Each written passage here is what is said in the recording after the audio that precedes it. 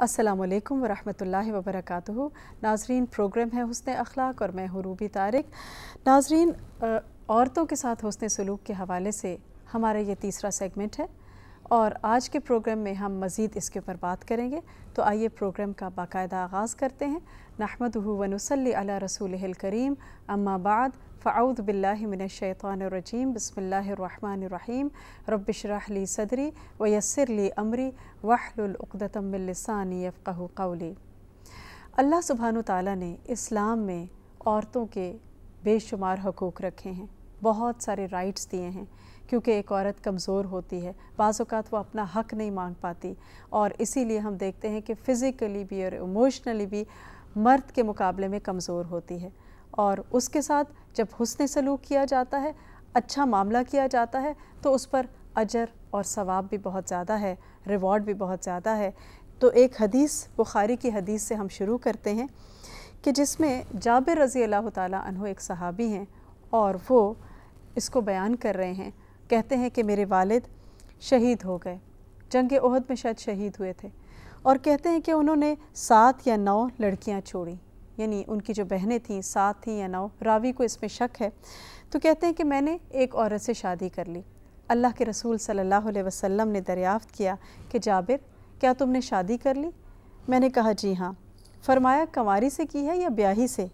میں نے کہا، بیاہی سے۔ آپ نے فرمایا، کسی کنواری سے کیوں نہ کی؟ تم اس کے ساتھ کھیلتے، وہ تمہارے ساتھ کھیلتی، یا تم اسے ہساتے وہ تمہیں ہساتی میں نے عرض کیا کہ میرے والد عبداللہ شہید ہو چکے ہیں اور سات یا نو بیٹیاں چھوڑ گئے۔ تو میں نے پسند نہیں کیا کہ ان جیسی لڑکی لاؤں، چنانچہ میں نے ایک ایسی عورت سے شادی کی کہ جو ان کی نگرانی کر سکے۔ آپ صلی اللہ علیہ وسلم نے فرمایا، اللہ تمہیں برکت عطا کرے۔ یعنی آپ نے ان کو دعا دی، کیونکہ ان کی قربانی ایک بہت بڑی قربانی تھی۔ جذبات کی قربانی بہت بڑی قربانی ہوتی ہے۔ تو پچھلے پروگرامز میں ہم نے بیٹیوں کے حوالے سے بات کی تھی۔ اور یہاں ہم دیکھ رہے ہیں کہ بہنوں کی بات ہو رہی ہے۔ تو جو شخص بیٹیوں کے ساتھ ساتھ، بہنوں کے ساتھ بھی اچھا سلوک کرتا ہے، ان کی ذمہ داری کو اچھی طرح سے نبھاتا ہے، تو اس کے لیے بھی اجر اور ثواب بے پناہ ہے۔ اسی طرح ہم دیکھتے ہیں کہ مسند احمد کی ایک روایت میں آتا ہے کہ اللہ کے رسول صلی اللہ علیہ وسلم نے فرمایا کہ جو شخص دو یا تین بیٹیوں یا دو یا تین بہنوں کا ذمہ دار بنا اور ذمہ داری نبھائی، یہاں تک کہ وہ فوت ہو گئی یا وہ شخص خود فوت ہو گیا، اس دنیا سے چلا گیا۔ تو وہ اور میں ان دونوں انگلیوں کی طرف آپ نے اشارہ کیا، ان دونوں انگلیوں کی طرح ساتھ ہوں گے۔ تو آپ دیکھیے کہ پھر وہی بات ہے کہ بہت بڑے آنر کی بات ہے کہ اللہ کے رسول صلی اللہ علیہ وسلم کا ساتھ کسی کو مل جانا۔ لیکن یہ کس کے لیے ہے؟ کہ جو اپنی بہنوں کی فکر کرتا ہے اور ان کی ذمہ داری کو احسن طریقے سے ادا کرتا ہے۔ ایک اور روایت ہمیں ملتی ہے کہ نظر کی بیٹی ربیع تھیں انہوں نے ایک لڑکی کے دانت توڑ دیے۔ کوئی حادثہ ہوا ہوگا یا غلطی سے یا کس طرح سے، وجہ نہیں پتہ چلتی۔ لیکن بہرحال اب یہ ہوا کہ اس لڑکی والوں نے تاوان مانگا۔ انہوں نے کہا کہ معاف کر دیا جائے، صلح کی جائے، لیکن وہ لوگ نہیں مانے۔ تو اللہ کے رسول صلی اللہ علیہ وسلم کے پاس آئے اور آپ صلی اللہ علیہ وسلم نے بدلے کی اجازت دے دی کہ بدلہ لیا جائے گا۔ تو اس پر انس رضی اللہ تعالیٰ عنہ جو تھے جو ربی کے بھائی تھے، وہ کہنے لگے کہ اللہ کے رسول صلی اللہ علیہ وسلم کیا ربی کے دانت توڑے جائیں گے؟ یعنی انہوں نے کہا، پھر کہنے لگے کہ قسم ہے اس ذات کی کہ جس نے آپ کو حق کے ساتھ بھیجا ہے، اس کا دانت نہیں توڑا جائے گا۔ تو آپ نے فرمایا، انس، کتاب اللہ کا فیصلہ تو بدلہ لینے کا ہے یعنی قصاص کا ہے۔ لیکن کیا ہوا کہ تھوڑی ہی دیر کے بعد وہ لوگ راضی ہو گئے۔ اور انہوں نے معاف کر دیا۔ تو آپ صلی اللہ علیہ وسلم نے فرمایا کہ اللہ کے کچھ ایسے بندے ہیں کہ اگر وہ اللہ کی قسم کھا لیں تو اللہ خود ان کی قسم کو پورا کر دیتا ہے۔ اور آپ دیکھیں کہ پہلے وہ لوگ مان نہیں رہے تھے، لیکن اس کے بعد کس طرح مان گئے اور پھر صلح بھی ہو گئی اور دانت بھی نہیں توڑا گیا۔ تو یہ کیا تھا؟ کس کا کس کے ساتھ تعلق تھا؟ ایک بھائی جو تھے، ایک بھائی اتنا کنسرن نظر آتا ہے۔ اپنی بہن کے لیے۔ اور اس کے اندر اتنی ڈٹرمنیشن ہے اور اتنی ایک ڈیزائر ہے اور اتنی ایک خواہش تھی اور اس تڑپ سے اس نے جب بات کی تو اللہ سبحانہ و تعالیٰ نے اس کی بات کو پورا کر دیا۔ تو یہاں آپ دیکھیں کہ اگر ایک بھائی اپنی بہنوں کے ساتھ اچھا سلوک کرتا ہے اور ان کا خیر خواہی کرتا ہے ان کے ساتھ، تو اس کے لیے اجر جو ہے وہ یقینی ہے۔ پھر اسی طرح ہم دیکھتے ہیں کہ حضرت جابر رضی اللہ تعالیٰ عنہ کی جو یہ روایت ہے، یہ مختلف جگہ پہ ہمیں تھوڑے سے فرق الفاظ کے ساتھ بھی ملتی ہے۔ اس میں ہم دیکھتے ہیں کہ جب انہوں نے شادی کی، تو ایک عمر والی عورت سے شادی کی۔ تو آپ صلی اللہ علیہ وسلم نے پوچھا کہ کیوں ایسا کیا؟ تو پھر وہ کہنے لگے کہ میری بہت ساری بہنیں ہیں اور میرے والدین کا انتقال ہو چکا ہے۔ ایک روایت میں آتا ہے بخاری کی کہ انہوں نے کہا کہ میں نے یہی پسند کیا کہ ایسی عورت سے شادی کروں کہ جو ان کو جمع رکھے، اکٹھا کر کے رکھے، ان کی کنگھی کرے ان کی نگرانی کرے یعنی بہت چھوٹی چھوٹی ہوں گی، تو ان کے لیے ایک ماں کا کردار ادا کرے۔ اور بہت سارے آپ دیکھیں کہ لوگ یہ خیال کرتے ہیں کہ ہم پر تو سسرال کی کوئی ذمہ داری نہیں، نہ ہمارے اوپر کسی نند کی ذمہ داری ہے، نہ ساس کی ہے، نہ کسی اور چیز کی ہے۔ تو یہ حدیث کیا بتا رہی ہے؟ کہ یہ خاتون جو تھیں جن سے جابر رضی اللہ تعالیٰ انہوں نے شادی کی تھی، تو یہ ساری لڑکیاں، یہ ساری بچیاں کیا لگتی تھیں ان کی؟ نندیں تھیں۔ تو اس وجہ سے آپ دیکھیں کہ اچھا سلوک نندوں کے ساتھ، بعض دفعہ یہ ہوتا ہے کہ ایک بچی کی شادی ایک بھرے پورے سسرال میں ہو جاتی ہے اور جس میں وہ سب سے بڑی بہو ہوتی ہے، باقی سارے بچے چھوٹے چھوٹے ہوتے ہیں۔ تو ان کی بھی ذمہ داری ان کو لک آفٹر کرنا، ان کے دین کا خیال کرنا، تربیت کرنا، یہ بھی اس بچی کی ذمہ داری میں آ جاتا ہے۔ کیونکہ اگر وہ یہ کہے کہ اچھا مجھے تو اب یہ تو آپ کا کام ہے اور مجھے تو اپنا الگ چاہیے، جہاں میں پرسکون طریقے سے اچھی طرح سے رہوں، تو وہ اسلام جو جانوروں کے ساتھ، پرندوں کے ساتھ بھی رحم کرنے کا معاملہ ہمیں سکھاتا ہے۔ تو ہمارا دین کیا سکھاتا ہے؟ کہ سسرال والوں کے ساتھ، نندوں کے ساتھ کیسا سلوک کیا جائے؟ جابر رضی اللہ تعالیٰ عنہ کیا کہہ رہے تھے کہ میں نے اس لیے اس عورت سے شادی کی کہ وہ ان کو جمع کر کے رکھے، ان کا خیال کرے، ان کی کیئر کرے۔ تو ہمارا دین جو ہے، وہ ایک خوبصورت دین ہے اور اس میں رشتوں کو نبھانے کے اوپر بہت زور دیا جاتا ہے۔ جی تو یہاں پہ یہ ہے کہ اسی حدیث کو تھوڑے سے ڈفرینٹ الفاظ کے ساتھ ایک اور جگہ بیان کیا گیا ہے۔ اور آپ دیکھیں گے کہ اس حدیث میں بہت کچھ ہمیں چھوٹی چھوٹی باتیں سیکھنے کو ملیں گی۔ ہم ان پہ بات کریں گے، لیکن ایک بریک کے بعد۔ السلام علیکم ورحمۃ اللہ وبرکاتہ۔ ناظرین بریک سے پہلے ہم بات کر رہے تھے جابر رضی اللہ تعالیٰ عنہ کی اس حدیث کے اوپر کہ جو مختلف جگہ پر مختلف الفاظ کے ساتھ آئی ہے۔ ایک روایت میں آتا ہے کہ وہ کہتے ہیں کہ مجھے برا لگا کہ میں انہی کی طرح کی ایک عورت سے شادی کروں یعنی ایک ینگ لڑکی سے شادی کروں اور جو نہ ان کو ادب سکھائے اور نہ ہی ان کی نگرانی کرے۔ تو یہاں پر ایک بھابھی کا کردار ہمیں نظر آتا ہے کہ وہ کس طرح کا کردار ہے کہ وہ اپنی نندوں یا اپنے گھر میں سسرال میں جو چھوٹے بچے ہیں، ان کی تربیت کا بھی خیال کرے اور ان کو بہت اچھے سے لے کے چلے۔ تو اس طرح سے ہم دیکھتے ہیں کہ ایک اور روایت میں آتا ہے، مسلم کی روایت میں آتا ہے کہ وہ کہتے ہیں کہ اللہ کے رسول صلی اللہ علیہ وسلم میری کچھ بہنیں ہیں۔ تو میں نے یہ اندیشہ محسوس کیا کہ کہیں وہ میرے اور ان کے درمیان حائل نہ ہو جائے۔ آپ دیکھیے ذرا جابر رضی اللہ تعالیٰ عنہ کی دور اندیشی کہ وہ کیا کہتے ہیں کہ کہیں وہ آنے والی لڑکی میری اور میرے بہنوں کے بیچ میں حائل نہ ہو جائے۔ ہمارے بیچ میں ایک رکاوٹ نہ ڈال دے، ہمیں آپس میں کاٹ کے نہ رکھ دے۔ تو آپ سوچیں کیا خیال ہے ان خواتین کا؟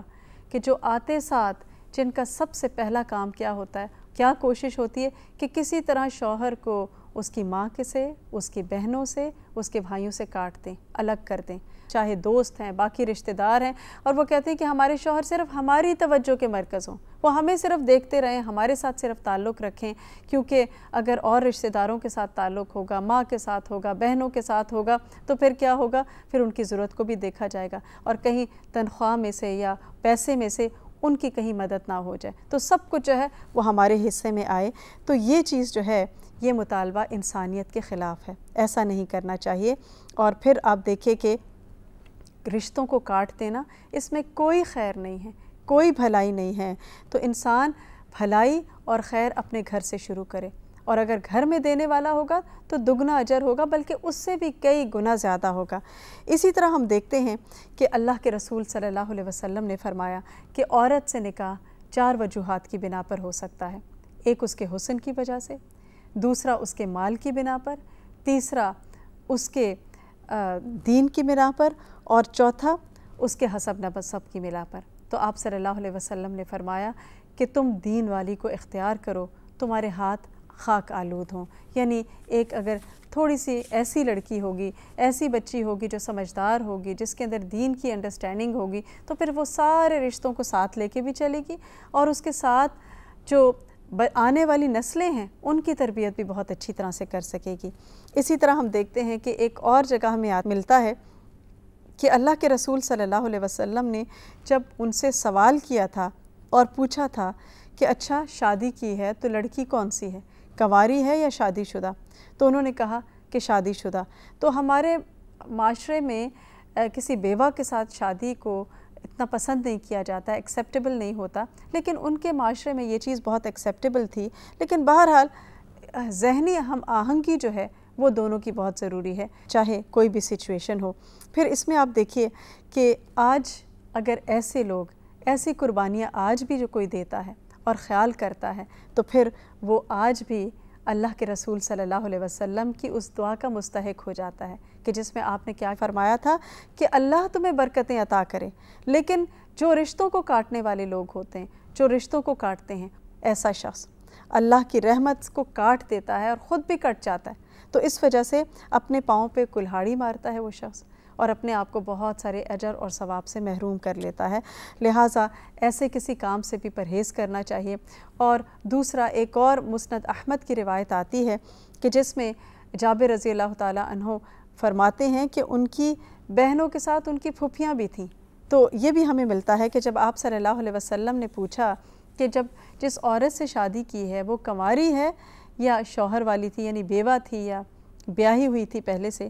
تو انہوں نے جواب دیا کہ وہ پہلے سے بیاہی ہوئی تھی۔ کیوں؟ کیونکہ میری چھوٹی بہنیں اور پھوپھیاں ہیں اور میں نے انہی جیسی نا تجربے کار لڑکی کو لانا مناسب نہ سمجھا۔ تو اس سے یہ بات بھی پتہ چل رہی ہے ہمیں کہ ایک مرد کی ذمہ داری میں بعض اوقات ہو سکتا ہے کہ اس کی بیٹیاں ہوں، پھر ساتھ بہنیں ہوں، پھر ہو سکتا ہے پھوپھیاں ہوں یا خالہ ہو یا اپنی اپنی بیوی کی ماں ہو یا بیوی کی خالہ ہو تو کوئی بھی رشتہ ہو سکتا ہے۔ لیکن اس کو نبھاتے ہوئے، اس کا کیئر کرتے ہوئے انسان کو اپنا دل بڑا رکھنے کی ضرورت ہے اور ان کو بوجھ نہیں سمجھنا چاہیے۔ خوشی کے ساتھ اور اللہ سے اجر چاہتے ہوئے اس ذمہ داری کو نبھانا چاہیے۔ پھر اسی طرح ہم دیکھتے ہیں کہ اللہ کے رسول صلی اللہ علیہ وسلم نے فرمایا کہ دنیا میں سے عورتیں اور خوشبو مجھے محبوب کر دی گئیں اور میری آنکھوں کی ٹھنڈک نماز میں رکھ دی گئی یہاں پر ہم دیکھتے ہیں کہ اتنا پرفیکٹ بیلنس ہمیں نظر آتا ہے کہ ایک طرف دنیا کی چیزوں کی بات ہے اور دوسری طرف نماز کی بات ہے۔ اور پھر یہ بھی ہے کہ دنیا کی چیزوں کا پسند ہونا کوئی برا نہیں ہے، لیکن ان کو اللہ کی عبادت میں آڑ نہیں بننا چاہیے، رکاوٹ نہیں بننا چاہیے۔ بعض اوقات دنیا کی طرف ہمارا فوکس اتنا زیادہ ہو جاتا ہے کہ ہم دین کو بالکل چھوڑ بیٹھتے ہیں۔ اور بعض اوقات دین کی طرف اتنا زیادہ ہو جاتا ہے کہ ہم دنیا کو بالکل اگنور کر دیتے ہیں۔ بلکہ ایک بیلنس جو ہے وہ پسندیدہ ہے اور خاص بات جو یہاں ہمیں پتہ چل رہی ہے، وہ یہ ہے کہ اللہ کے رسول صلی اللہ علیہ وسلم کی نظر میں عورت کوئی بری چیز نہیں، پاؤں کی جوتی نہیں منحوس نہیں اور ٹھکرائے جانے کے لائق نہیں، بلکہ اللہ کے رسول صلی اللہ علیہ وسلم بہت قدر اور احترام سے، عزت سے ایک عورت کو دیکھتے ہیں۔ اور ہمارے معاشرے میں ہم دیکھتے ہیں کچھ اور معاشروں کے انفلوئنس کی وجہ سے یہ چیز مسلمان معاشرے میں بھی آ چکی ہے کہ عورت کو کمتر نگاہ سے دیکھا جاتا ہے، جبکہ ہمارا اسلام عورت کو بے شمار حقوق ادا کر دیتا ہے۔ پھر ہم دیکھتے ہیں کہ ایک اور روایت میں آتا ہے کہ رسول اللہ صلی اللہ علیہ وسلم کو ایک صحابی نے ممبر پر فرماتے ہوئے سنا کہ بے شک میری بچی سیدہ فاطمہ رضی اللہ تعالی عنہ میرے جگر کا ٹکڑا ہے۔ جو چیز اسے پریشان کرے گی، وہ مجھے پریشان کرے گی، اور جو چیز اسے اذیت دے گی، وہ مجھے بھی اذیت دے گی۔ تو ناظرین، اس حدیث کے اوپر مزید بات کریں گے، لیکن ایک بریک کے بعد۔ السلام علیکم ورحمۃ اللہ وبرکاتہ۔ جی ناظرین، بریک سے پہلے ہم حدیث کے اوپر بات کر رہے تھے کہ اللہ کے رسول صلی اللہ علیہ وسلم نے فاطمہ رضی اللہ تعالی عنہ کے بارے میں جو بات فرمائی اور اس کا ہم دیکھتے ہیں کہ بیک گراؤنڈ کیا تھا کہ علی رضی اللہ تعالی عنہ نے فاطمہ رضی اللہ تعالی عنہ کی پریزنس میں ہی ابو جہل کی بیٹی کے لیے پروپوزل بھیجا تھا۔ تو آپ صلی اللہ علیہ وسلم نے اس کو انتہائی ناپسند فرمایا۔ اللہ کے رسول صلی اللہ علیہ وسلم جو ایک پیغمبر ہیں اور لوگوں کے لیے ایک رول ماڈل ہیں، تو آپ نے کس طرح سے خوبصورتی سے منع کر دیا اور ایک ممبر پر آپ یہ بات فرما رہے ہیں، کیونکہ دین کا معاملہ تھا، تو دین کے معاملے کے اوپر کمپرومائز نہیں ہو سکتا، کیونکہ جہاں عقیدہ فرق آ جائے اور باقی ساری چیزیں ہوں، تو پھر بہت مشکل ہو سکتی ہے۔ لہٰذا آپ نے اس سے منع فرما دیا۔ اسی طرح ہم دیکھتے ہیں کہ ایک اور حدیث میں اللہ کے رسول صلی اللہ علیہ وسلم نے فرمایا کہ بے شک اللہ نے تم پر ماؤں کی نافرمانی حرام کر دی۔ اب آپ دیکھیں کہ بیٹی کا ذکر ہو گیا، بہن کا ذکر ہو گیا، اب ماں کا ذکر ہے۔ اور ادائیگی حقوق سے ہاتھ روکنا اور ناحق ان سے مطالبات کرنا بھی حرام قرار دیا۔ اور لڑکیوں کو زندہ درگور کرنا اور تمہارے لیے لایانی گفتگو اور سوالوں کی کثرت اور مال کا ضیاع پسندیدہ نہیں۔ اب یہاں آپ دیکھیں کہ بہت ساری باتیں ہیں، لیکن مینلی ہم اگر دیکھتے ہیں تو اس میں ماں کے ساتھ حسن سلوک کے اوپر بات کی جا رہی ہے۔ کہ ان کی نافرمانی نہیں کرنی۔ اور اس میں اس میں ہمیں ایک روایت ملتی ہے جس کا مفہوم ہے کہ ایک مرتبہ ایک شخص جو تھا، اس نے اپنے کندھے کے اوپر اپنی ماں کو حج کروایا اور پھر اللہ کے رسول صلی اللہ علیہ وسلم سے کہنے لگا کہ کیا میں نے اپنی ماں کا حق ادا کر دیا؟ تو آپ نے فرمایا، تم نے تو اس ایک رات کا بھی حق ادا نہیں کیا کہ جب وہ تمہارے لیے جاگی تھی۔ تو ماں کا حق جو ہے وہ بہت زیادہ ہے اور اس میں ہم دیکھتے ہیں کہ اس کے ساتھ احسان کا معاملہ ہونا چاہیے، مال کے ساتھ احسان۔ مال یعنی تحفے، تحائف دینا اور اگر ضرورت مند ہیں تو ان کے اوپر سپینڈ کرنا۔ اسی طرح آپ دیکھیے کہ جسمانی جان کے ساتھ احسان اور اس میں یہ ہے کہ جسمانی خدمت آ جاتی ہے، وہ ساری چیزیں، ان کا خیال رکھنا اور پھر گفتگو کے ساتھ احسان۔ نرمی کے ساتھ بات کرنا، بدتمیزی نہیں کرنا شاؤٹ نہیں کرنا۔ تو یہ سارے جو ہیں، یہ ایک ماں کے حقوق میں سے آتے ہیں، کیونکہ ایک ماں جو ہے وہ اپنے بچوں کے لیے بہت تکلیف اٹھاتی ہے اور پھر اس کا اجر اور ثواب جو ہے وہ بھی کہیں گنا زیادہ ہے۔ ہم دیکھتے ہیں کہ اس میں کون کون اس درجے میں آتا ہے۔ یعنی ماں کے درجے میں اور کون کون سے رشتے آتے ہیں۔ ایک تو خالہ ہے، نانی ہے، چچی ہے، ممانی ہے۔ تو روحانی والدین آ جاتے ہیں، پھر رضائی رشتے آ جاتے ہیں۔ تو یہ سارے جو ہیں، یہ ماں کی کیٹیگری میں آتے ہیں، لیکن جو اصل حق ہے، وہ پھر اپنی جو ماں ہوتی ہے، اس کا آتا ہے۔ یعنی جو حقیقی ماں ہے، اس کا حق جو ہے، وہ سب سے زیادہ ہے۔ لیکن اس کے علاوہ جو باقی رشتے آتے ہیں، ان میں بھی۔ پھر آپ دیکھیں کہ ان رشتوں کو کے ساتھ بھلائی یہ بھی آتی ہے کہ ان کو دین کی سمجھ دینا، ان کی تربیت کرنا۔ آپ صلی اللہ علیہ وسلم کو جب نبوت ملی تھی، اس کے بعد ہم دیکھتے ہیں کہ آپ نے تبلیغ کا آغاز کیا تھا۔ تو اس وقت آپ نے کیا فرمایا تھا؟ اے صفیہ، میری پھپھی، میں اللہ کے سامنے آپ کے کسی کام نہ آؤں گا۔ اے فاطمہ بنت محمد صلی اللہ علیہ وسلم، میری بیٹی، آپ تم چاہو تو میرا سارا مال لے لو، لیکن میں اللہ کے سامنے تمہارے کسی کام نہیں آؤں گا۔ یعنی ان رشتوں کے ساتھ، ایک ایک رشتے کے ساتھ آپ نے کس طرح سے خیر خواہی کی۔ پھر اسی طرح ہم دیکھتے ہیں کہ حمزہ رضی اللہ تعالیٰ عنہ جو تھے، وہ جب مدینہ آئے تو انہوں نے بنو نجار کی ایک خاتون خولہ بنت قیس کے ساتھ شادی کی۔ آپ صلی اللہ علیہ وسلم حمزہ رضی اللہ تعالیٰ عنہ سے ملاقات کے لیے ان کے گھر جایا کرتے تھے، کیونکہ حمزہ رضی اللہ تعالیٰ عنہ آپ کے چچا تھے۔ تو یہ پھر رشتے میں چچی ہوئیں۔ تو آپ صلی اللہ علیہ وسلم کے بارے میں یہ خود فرماتی ہیں کہ ایک مرتبہ آپ ہمارے ہاں تشریف لائے۔ تو میں نے عرض کیا، یا رسول اللہ صلی اللہ علیہ وسلم، مجھے معلوم ہوا ہے کہ قیامت کے دن آپ کا ایک حوض ہوگا اور اس کی مسافت فلاں علاقے سے لے کر فلاں علاقے تک ہوگی۔ تو آپ نے فرمایا ہاں یہ صحیح بات ہے۔ اور اس سے سیراب ہونے والے میرے نزدیک سب سے زیادہ محبوب تمہاری قوم کے لوگ ہیں۔ تو خولہ کہتی ہیں، رضی اللہ تعالیٰ عنہ کہتی ہیں کہ اس کے بعد میں ایک ہنڈیا میں آپ کے لیے کھانا لے کر آئی، جس میں روٹی اور حریرہ تھا۔ تو آپ صلی اللہ علیہ وسلم نے اس کو تناول فرمانے کے لیے جب ہانڈی میں ہاتھ ڈالا تو گرم ہونے کی وجہ سے آپ کی انگلیاں جل گئیں۔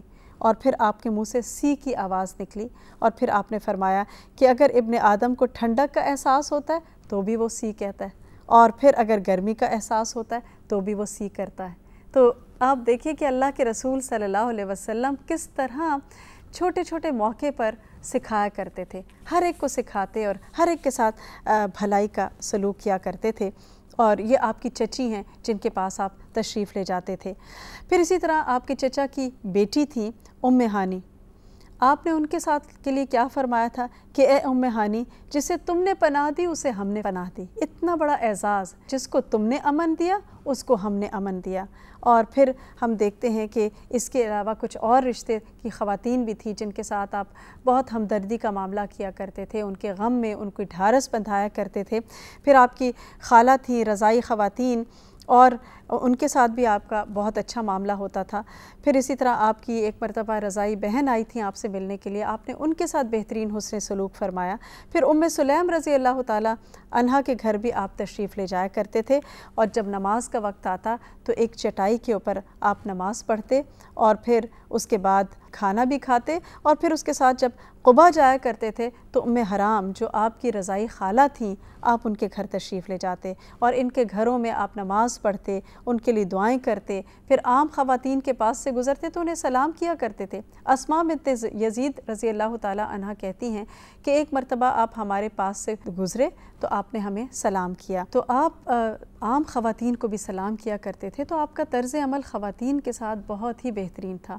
آپ نے بہت ان کے ساتھ عزت اور احترام کا معاملہ فرمایا۔ اور کوئی بھی رشتہ ہو اور کوئی بھی خاتون ہو اور ہمارا اسلام ہمیں کیا سکھاتا ہے کہ ہم عورتوں کے ساتھ بہترین معاملہ کریں اور ان کے حقوق کی حفاظت کریں تاکہ اجر اور ثواب کے مستحق ہو سکیں۔ اللہ تعالی ہم سب کو بہترین عمل کی توفیق عطا فرمائے۔ و آخر و داوانہ ان الحمد للہ رب العالمین۔ سبحانک اللہم و بحمدک، اشہد اللہ الہ الا انتا استغفرک و اتوب الیک۔